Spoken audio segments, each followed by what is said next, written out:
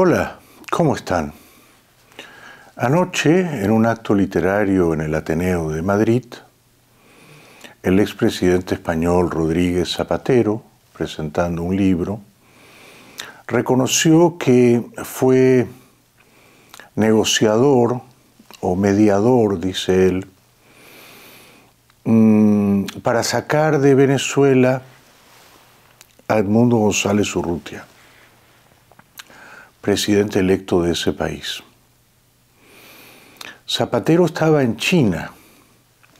Desde allá lejos conspiró activamente para convencer a González Urrutia de irse de Venezuela, no sin antes firmar un documento reconociendo la sentencia del TSJ que proclamaba la victoria de Maduro.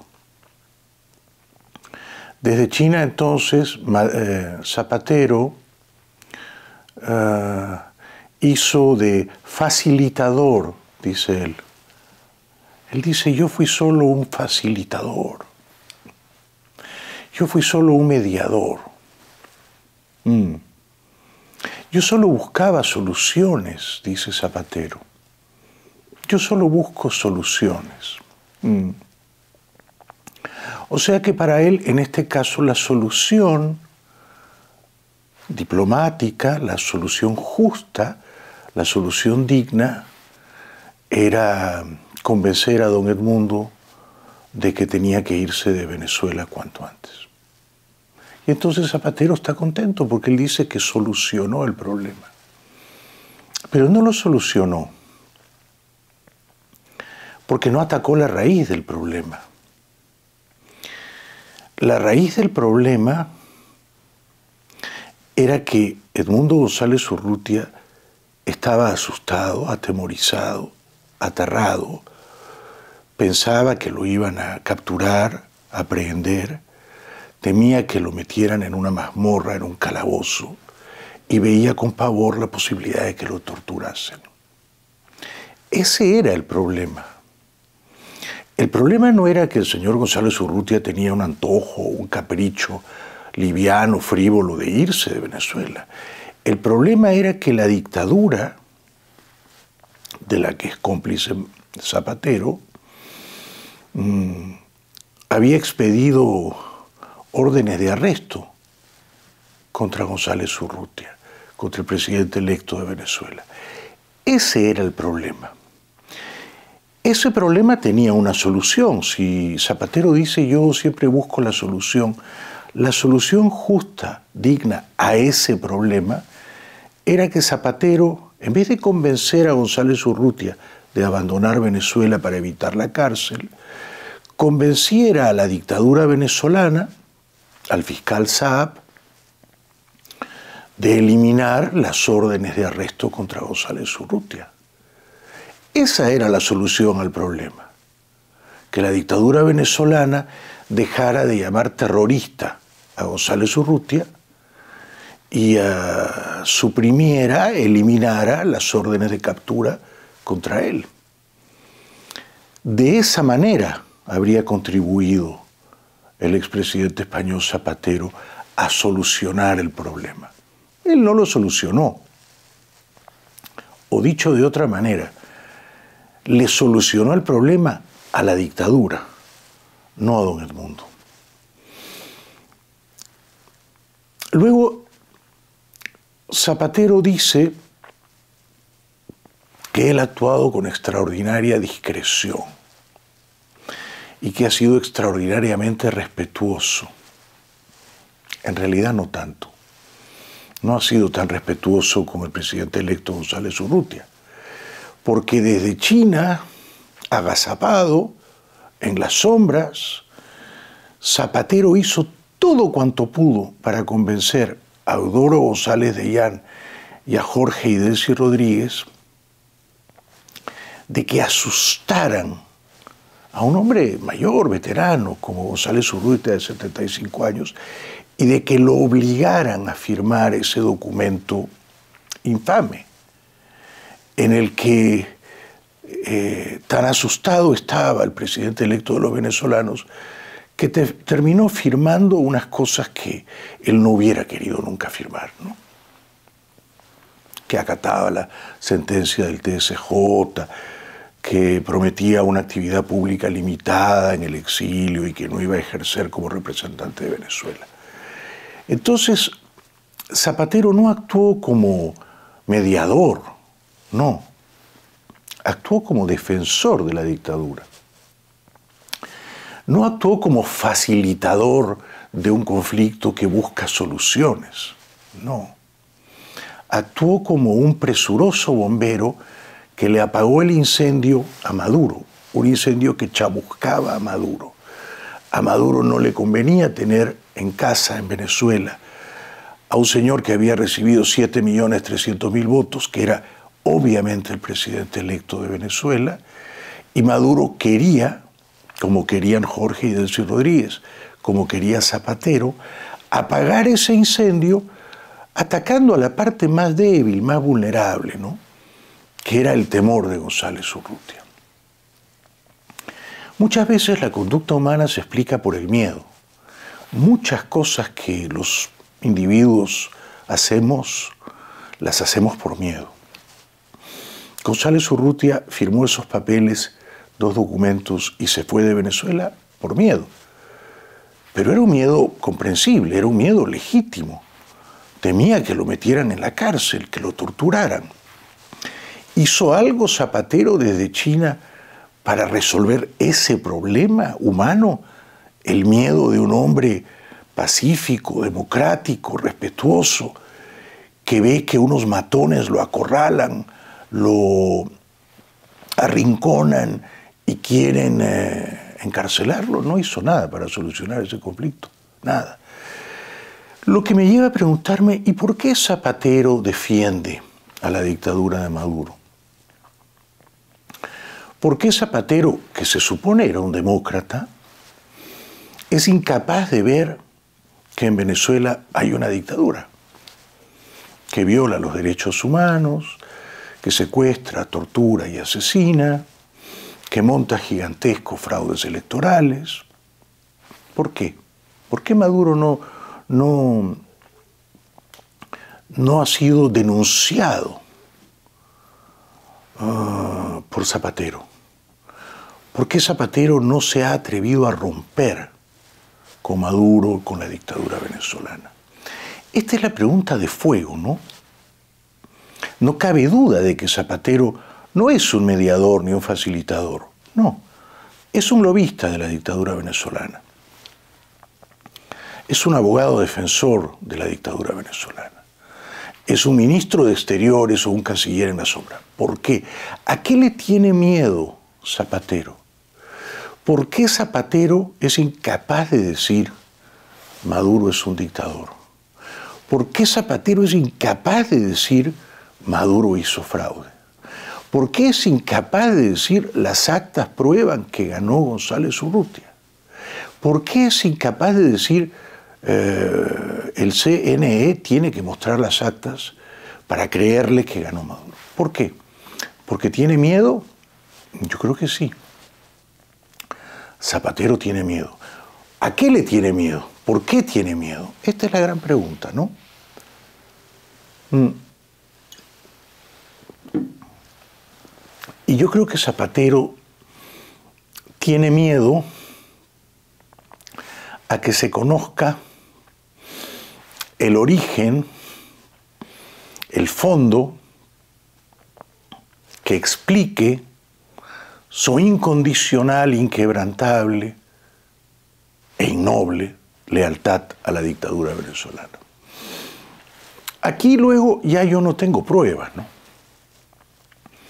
Pero sí tengo información más o menos confiable, de fuentes generalmente serias, ¿no? Mm, Zapatero era más chavista que Chávez en aquellos tiempos, ¿no? Era más chavista que Chávez. Cuando murió Chávez era una de las viudas de Chávez. ¿no? Y mucha gente piensa que Chávez le escondió a Zapatero unos dineros muy copiosos. ¿no? ¿Cuánto? No sé. ¿Dónde? No sé. Por supuesto, no a nombre del señor Zapatero, ni a nombre de la esposa, ni a nombre de las hijas, ¿no? Pero se afirma que Zapatero quería dejar a su familia económicamente resguardada, ¿no? Y que Chávez se encargó de esconder unos dineros a favor del expresidente español, ¿no? Eso podría explicar en parte el miedo a que Zapatero rompa con la dictadura venezolana, que se sepa que ha recibido dinero de ella, ¿no? También se afirma que Maduro ha continuado con esa práctica. Tengan en cuenta que Zapatero viaja muchísimo a Caracas, muchísimo. Y por supuesto no viaja en Iberia ni en Europa y él no se paga los boletos aéreos o el hotel en Caracas, ¿no? Todo se lo paga, todo, la dictadura, todo. Le manda aviones, los mejores aviones de PDVSA, ¿no? y le paga las mejores suites de Caracas y lo aloja incluso en residencias, en el country, ¿no? O sea que Zapatero cuando está en Caracas, ah, bueno, es un rey. Lo tratan como si fuera un rey.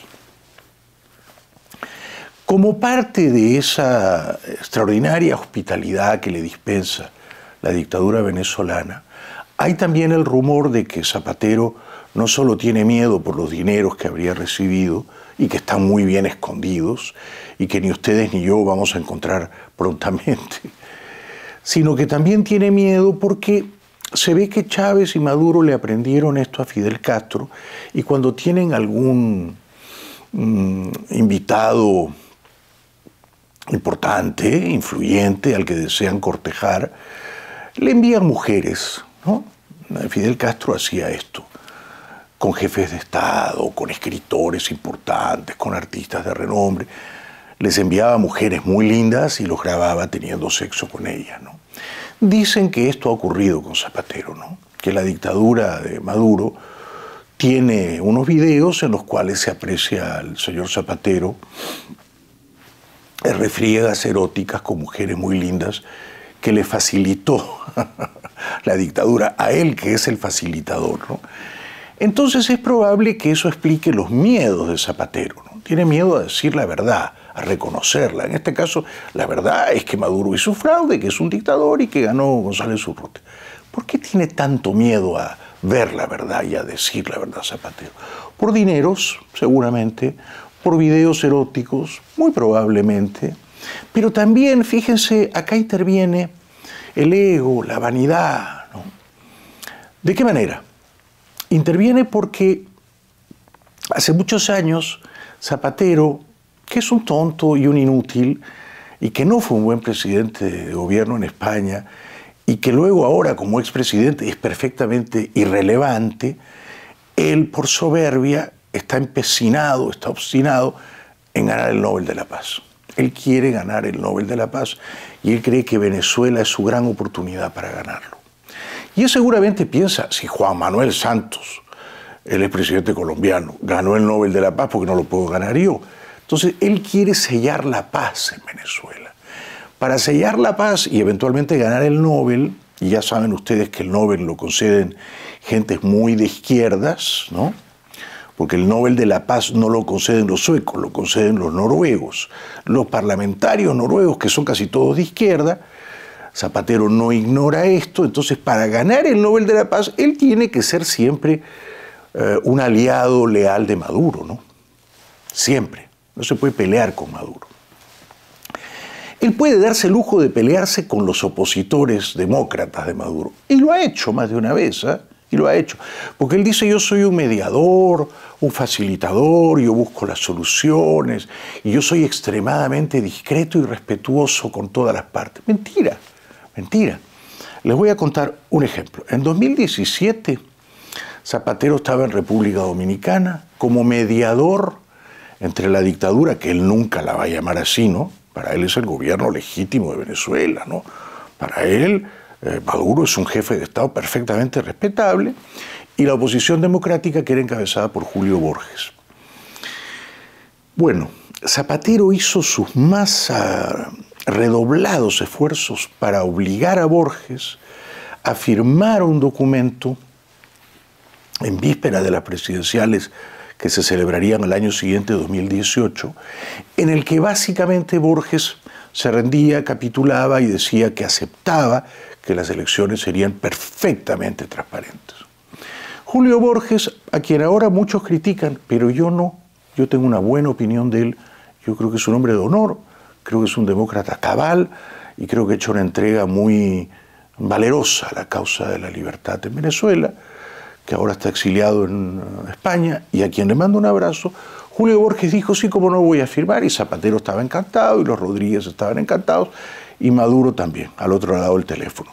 A la hora de la verdad, Julio Borges tuvo cojones y no firmó. Bueno, la política no basta con tener buenas ideas, ¿no? A veces hay que tener cojones también, y no firmó. Y Julio Borges ha contado que Zapatero, el facilitador, el mediador, tan respetuoso, extremadamente respetuoso y discreto, le dijo, indignado Zapatero porque Borges no había firmado, indignado porque Borges no había hecho lo que quería la dictadura, le dijo a Julio Borges, ah, tú no has visto mi peor cara. Tú no has conocido mi lado malo, textualmente. ¿eh? Y a continuación le dijo, ya vas a ver lo que te va a pasar, ya verás las consecuencias. Lo amenazó directamente. Tú no has visto mi peor cara, tú no has visto mi lado malo. lenguaje de mafioso. Ese no es un lenguaje de mediador, ¿no? Ese era su lado malo, su peor cara. ¿Cuáles fueron las consecuencias? Decretaron cinco órdenes de arresto contra Julio Borges, lo mismo que han hecho contra González Urrutia. Le quitaron la casa familiar, la casa de sus padres. Lo forzaron al exilio, mataron a uno de sus más cercanos colaboradores, Fernando Albán. Y ahora Borges no puede regresar a su país. Esa fue la mediación equidistante, respetuosa, extremadamente respetuosa de Zapatero. Por favor respetuosa nada, él solo respeta el interés de la dictadura y, destrata o irrespeta o atropella el deseo legítimo de los venezolanos a recuperar las libertades. Vamos a ver, Zapatero dice yo busco la solución. ¿Cuál es el problema en Venezuela antes de plantearnos la solución? ¿Cuál es el problema?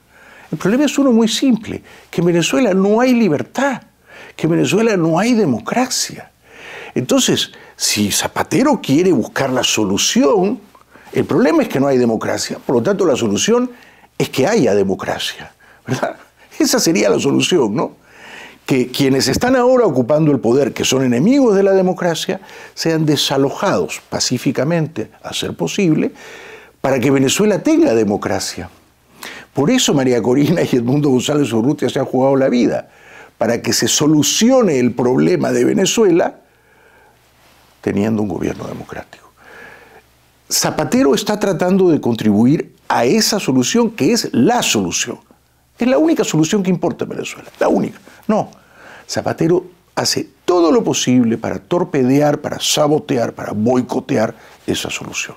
Zapatero no quiere que en Venezuela exista un gobierno democrático surgido de las urnas que exprese cabalmente la voluntad popular como el de González Urrutia, porque es incapaz de reconocerlo como presidente electo de Venezuela, para comenzar, así como es incapaz de decir que Maduro es dictador e hizo fraude. Entonces, esta es la triste, patética historia de Zapatero, quien cuando era presidente de gobierno español gozaba incluso de mi simpatía. Yo a veces lo defendía, no me parecía un presidente tan malo. Mm. Pero luego siendo expresidente, se ha convertido en un personaje indigno, miserable. Y no es un mediador, es un traidor.